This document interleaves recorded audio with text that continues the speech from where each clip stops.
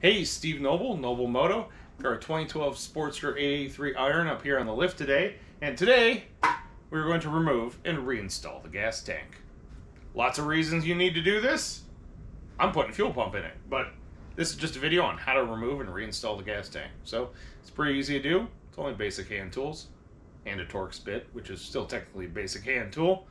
And uh, yeah, uh, let's move in a little closer and take a look. Step one is going to be to remove your fuel line. This there's a Torx bit in there, which is either 516 slash 8 millimeters for the outer hex, or it's a T20 Torx bit. And with that T20, you should be able to just lefty loosey that sucker right on out of there. You might have to use a wrench because there is some medium strength thread locker on this screw.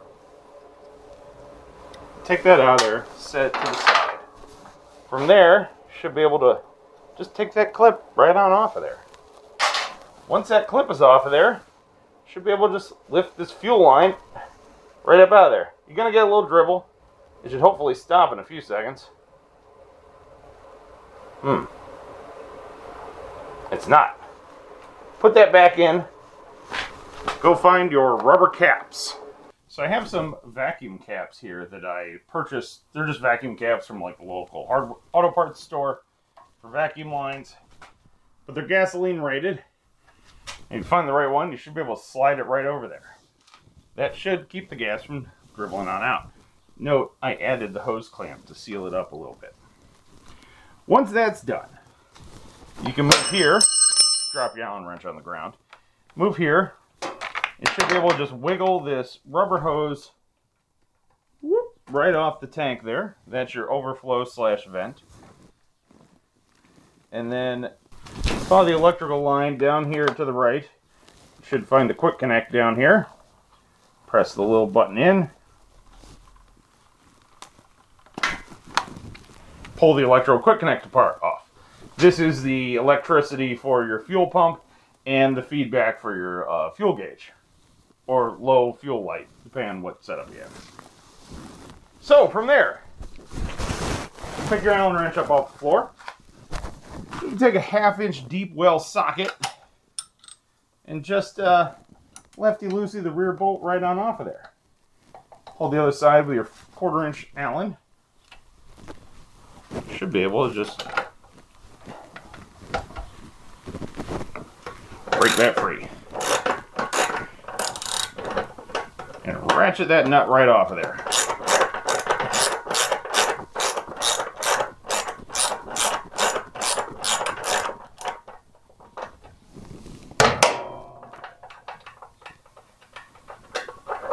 Slide that bolt right on out of there. Keep track of your washers and everything in order by threading the nut back onto the bolt. Now, move up to your front tank mount. In the same scenario, just break that bolt free while holding the other side with your quarter inch Allen.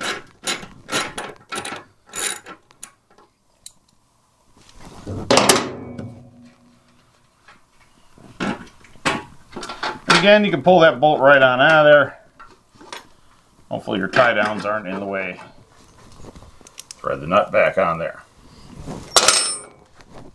Now, depending on how much gas you have in this thing, uh, it, it will vary in force it takes to lift it up off of there. We're going to lift the front of it up and then lift the back right up off of there. Make sure you have a spot already set up to set this thing down in, too.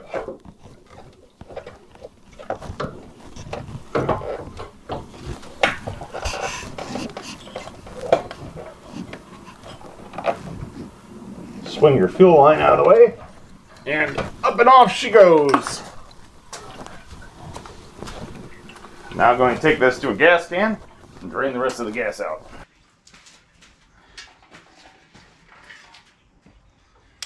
Take the tank, drop your back end down there first.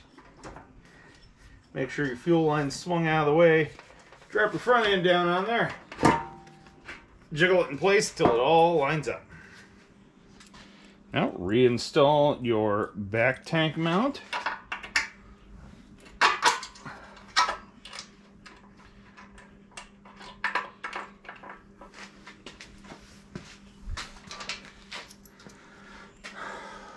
reinstall your front tank mount.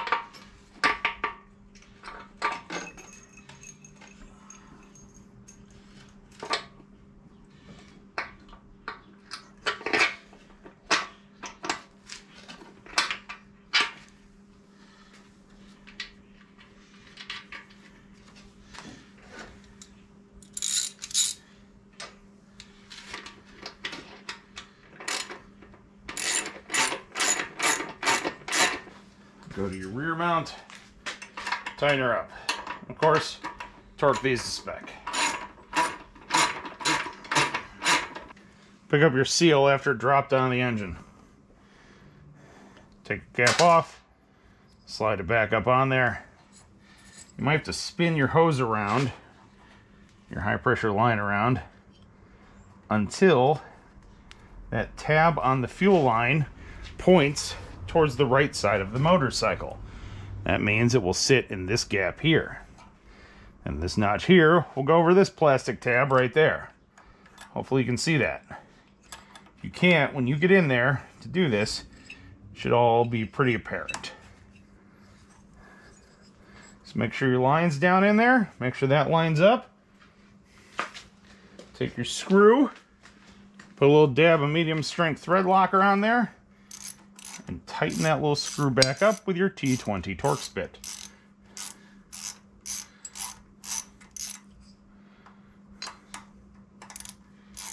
Any day now, that thing will tighten up.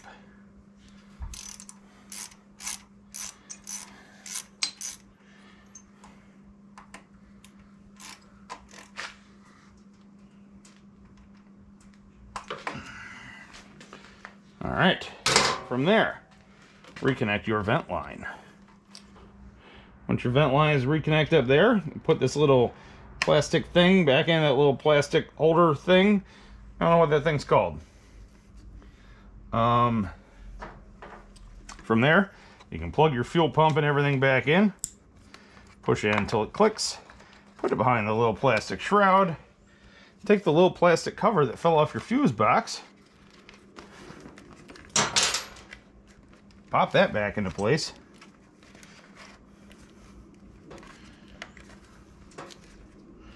All right, then actually reinstall this cover, which we're not going to do because I'm waiting on these little uh, clips to show up. Uh, but yeah, everything else is back together. So, put some gas in it, see if it leaks, start it up, see if it works. As you're doing this, make sure it's not dripping out the other side. All right, check for leaks. No leaks so far. That looks pretty good.